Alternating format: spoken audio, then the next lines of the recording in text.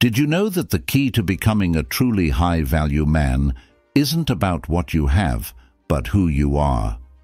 If you want to level up your life, whether it's in relationships, your career, or your personal growth, you need to start with the one thing that you can control yourself.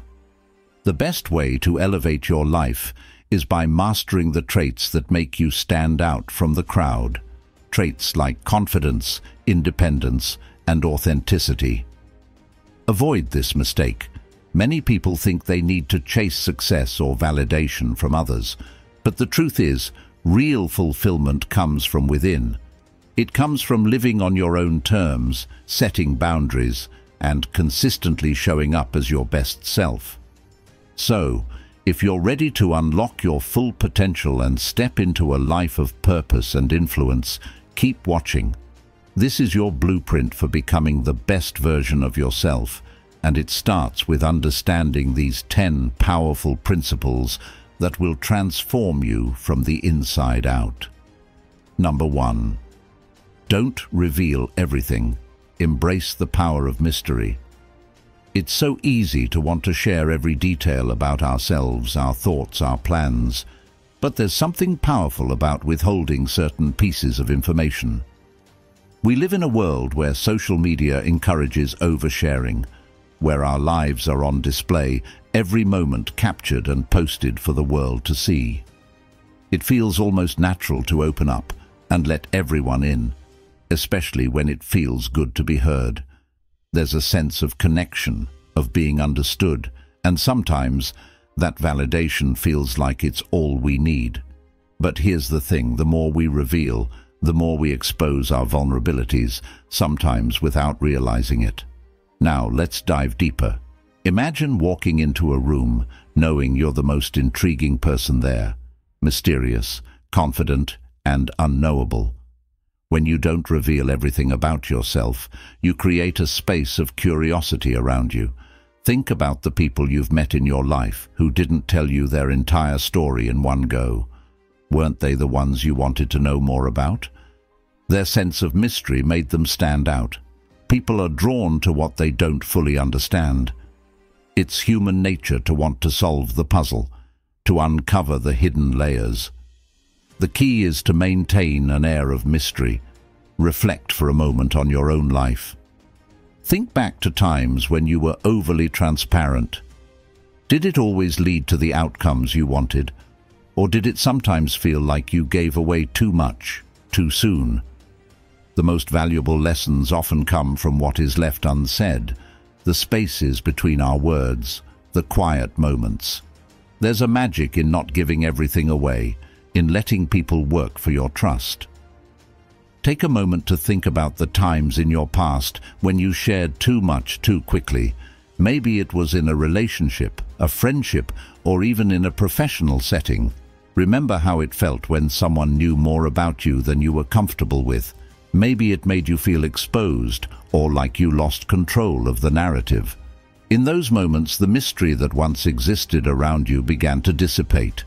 People love familiarity, but they also love the unknown. If you constantly share every thought, feeling or detail about your life, you take away that sense of intrigue. Curious yet? I bet you're starting to think about the last time you shared something too freely and wondering how you could have turned it into a more meaningful interaction. What if holding back just a little could have made that connection more powerful? Embracing the power of mystery isn't about manipulation or deception. It's about letting others become curious, letting them earn the right to know you on a deeper level. When people have to work for the information, they value it more. It's all about maintaining the right balance of openness and restraint. So, the next time you're about to reveal something personal, pause and ask yourself, how much is too much?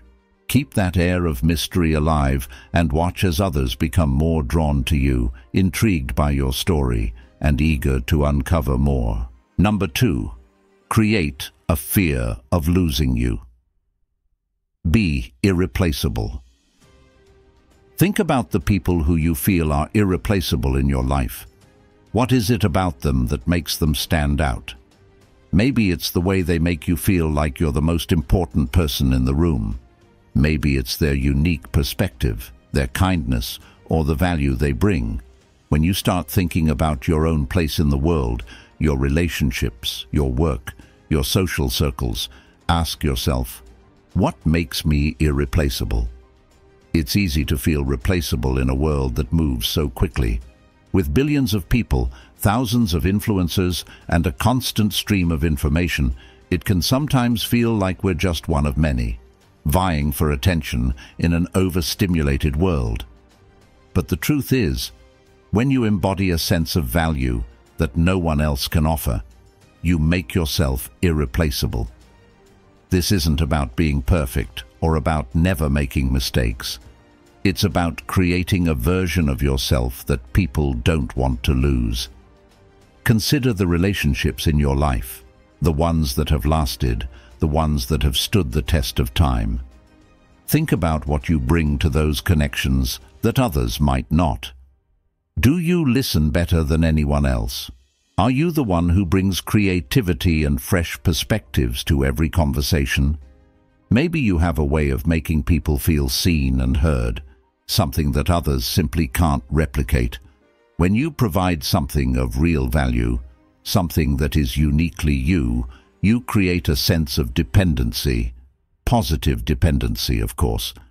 People want to be around you because of what you offer, not because they need to fill a void.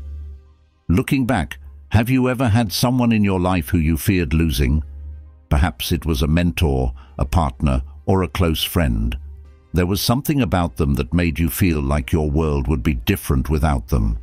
They had a particular quality, something that made them irreplaceable. Now think about yourself. What is it that you do or give that others can't find anywhere else? That is your power. There's something undeniably powerful about becoming someone that others fear losing. But here's the catch. It's not about playing games or manipulating people. It's about genuinely developing yourself in a way that makes your presence invaluable. When you invest in yourself, whether it's through knowledge, kindness, creativity, or simply being the best version of yourself, others will recognize that value. You don't have to prove your worth. People will feel it. They'll know that losing you would leave a void that can't easily be filled. Now imagine how different your life would be if you truly embraced this idea. What if you started thinking about every interaction, every relationship, every business deal through the lens of irreplaceability? How would it change your behavior, your self-image, and your influence over others? If you could master this, you'd find yourself surrounded by people who not only appreciate your presence, but actively seek to keep you in their lives. That fear of losing you wouldn't just be an emotional reaction, it would be a reality they couldn't afford to ignore. Number three, create your own happiness. Find fulfillment. Within. It's a thought we all have at some point. If I just had more of this, I would be happy. We chase happiness in external things, new relationships, a better job, a bigger house, or even a shiny new gadget. We've been taught that happiness is something we get, something that comes to us when the right circumstances fall into place. But what if we told you that true happiness isn't something external at all? What if the key to fulfillment was something inside of you all along? Let's take a moment to reflect on the happiness you felt in your life. What was it that made those moments truly fulfilling? Was it the material possessions, the praise from others? Or was it the sense of peace and satisfaction you felt when you were at ease with yourself? The truth is, true happiness comes from within. It's a state of mind, a perspective, and a choice. When you rely on external things to fill that void inside, you're always chasing something that's fleeting. But when you create happiness from within, it becomes an anchor, something that stays with you no matter the circumstances around you. Nostalgia often takes us back to moments when we felt truly fulfilled, not because of the things we had, but because of the way we felt. Maybe it was a moment of deep connection with a friend or loved one, or perhaps it was a simple moment of peace when you were alone, content in your own company.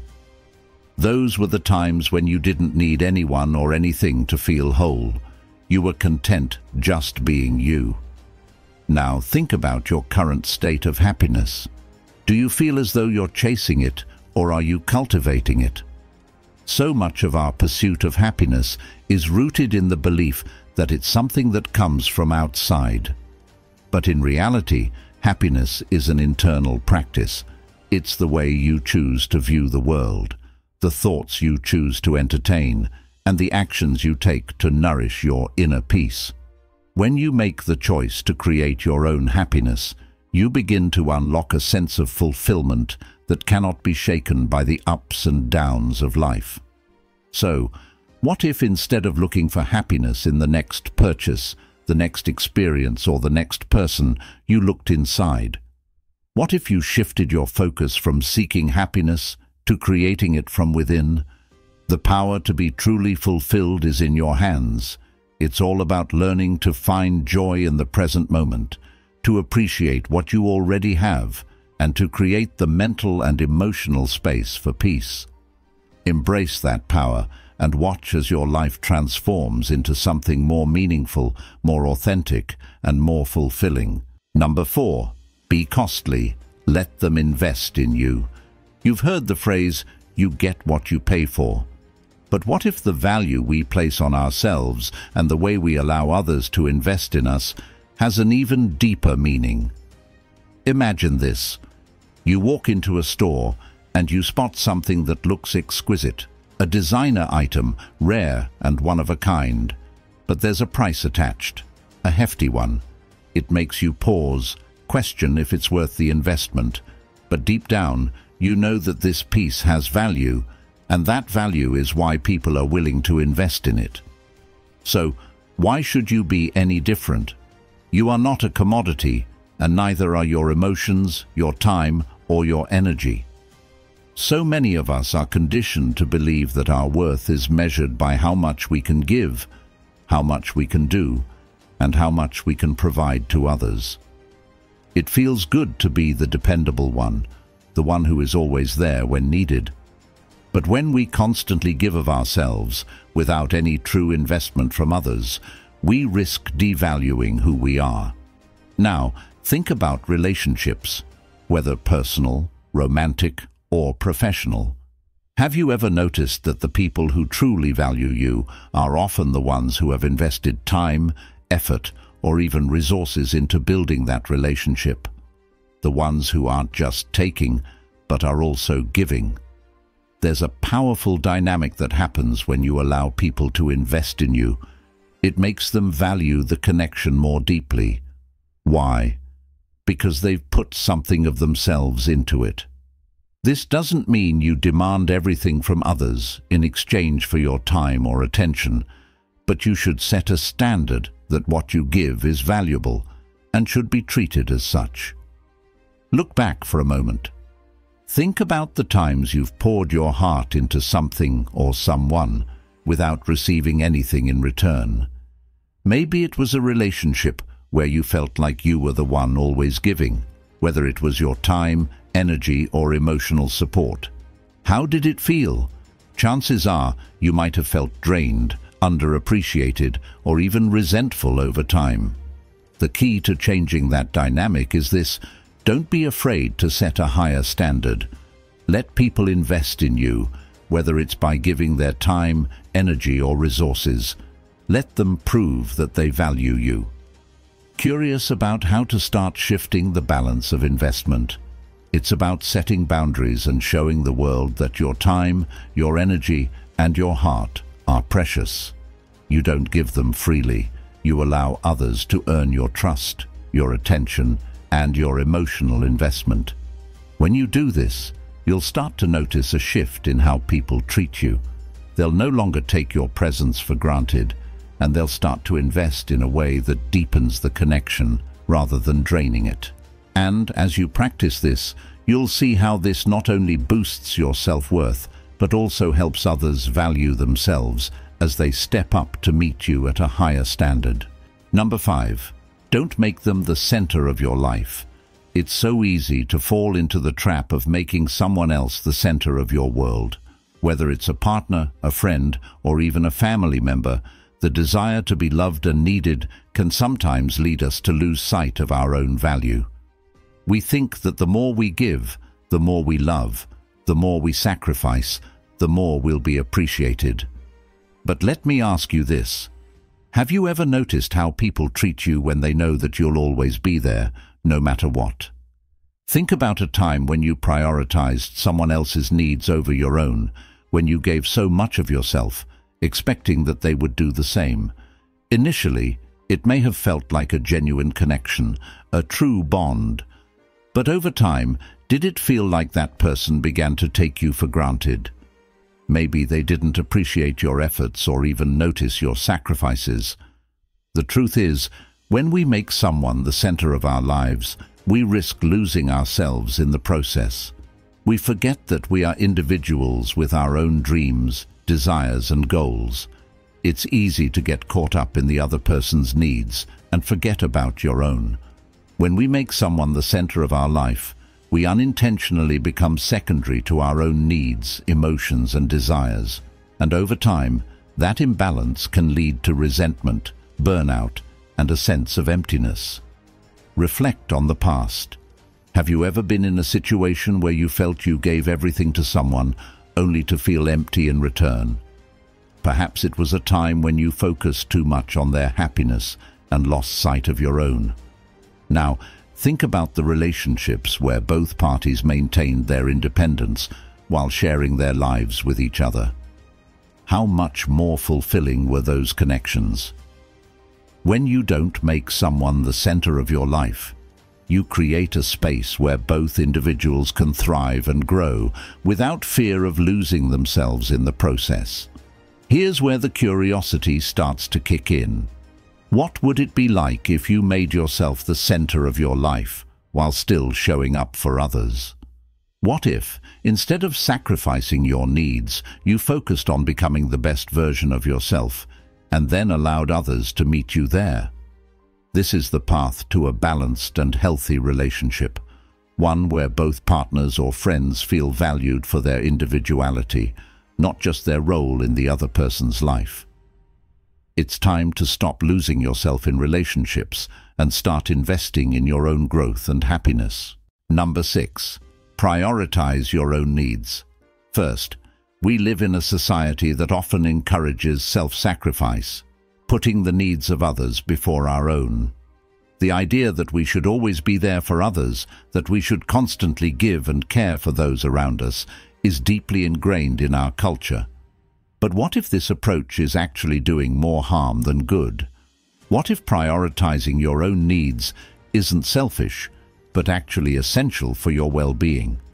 When was the last time you took a moment to focus on your own needs without feeling guilty? Whether it's taking a break from the world, spending time on your personal goals, or simply saying no when you need to, prioritizing yourself is a radical act of self-respect.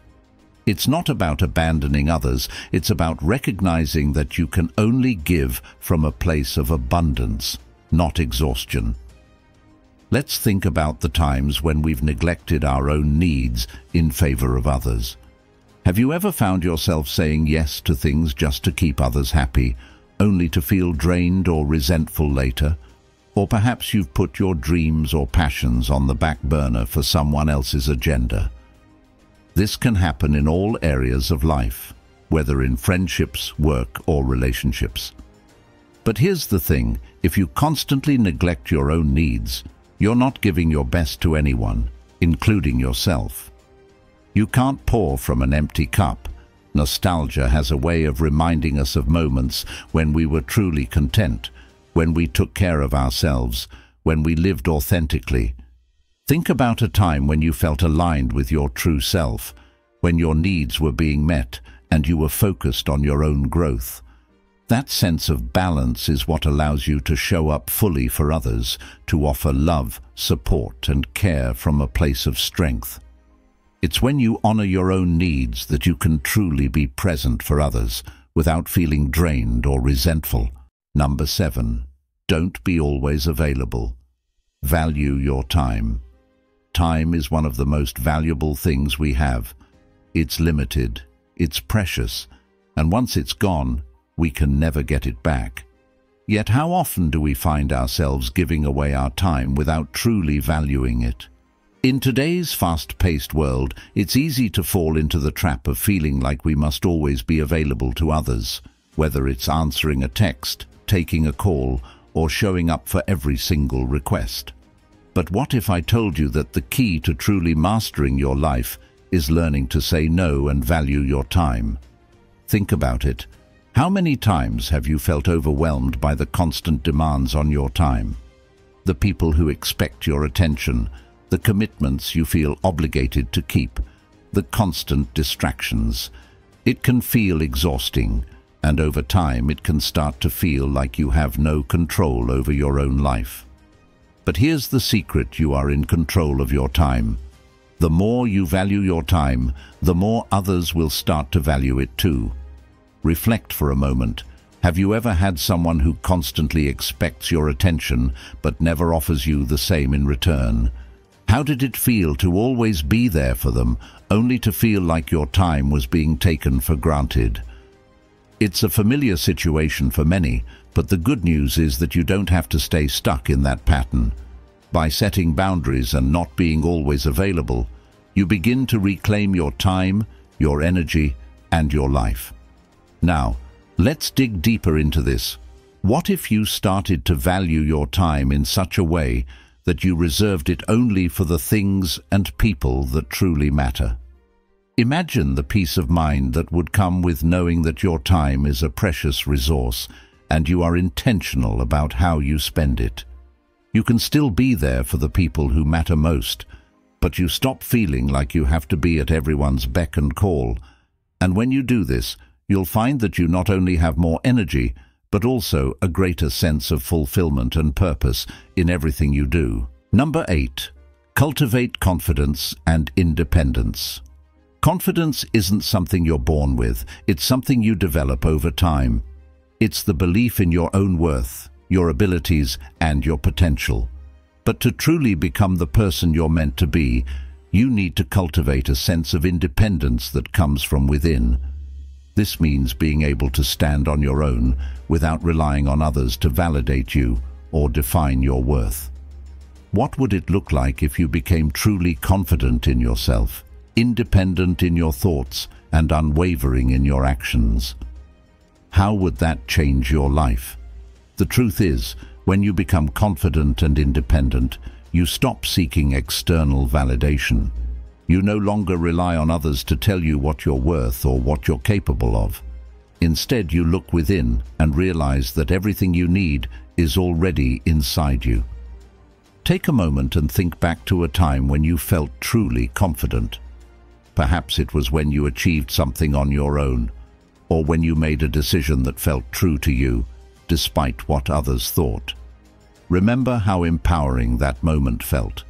That is the energy of confidence and independence. Curious about how you can cultivate this power? Start small, set boundaries, make decisions based on your own values, and trust yourself. The more you practice self-reliance, the more confident you'll become, and with confidence comes the freedom to live life on your terms, without needing anyone's approval. When you embrace confidence and independence, you unlock your true potential. Number 9. Live with purpose and authenticity. Purpose and authenticity are the cornerstones of a fulfilled life. But living with purpose doesn't just happen, it requires intentionality. It means aligning your actions, your choices, and your goals with your true self. When you live authentically, you stop pretending to be someone you're not. You embrace who you truly are, flaws and all, and let that be the guiding force in your life. Have you ever experienced the feeling of waking up, going through the motions of the day, and wondering if you're really living in alignment with your true purpose? Many of us have been there, feeling disconnected, lost, or unsure of the next step. But the truth is, you don't have to live that way.